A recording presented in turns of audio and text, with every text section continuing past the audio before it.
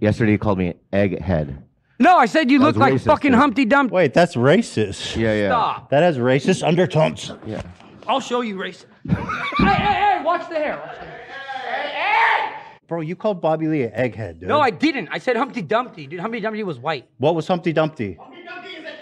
Exactly. You look like Humpty Dumpty.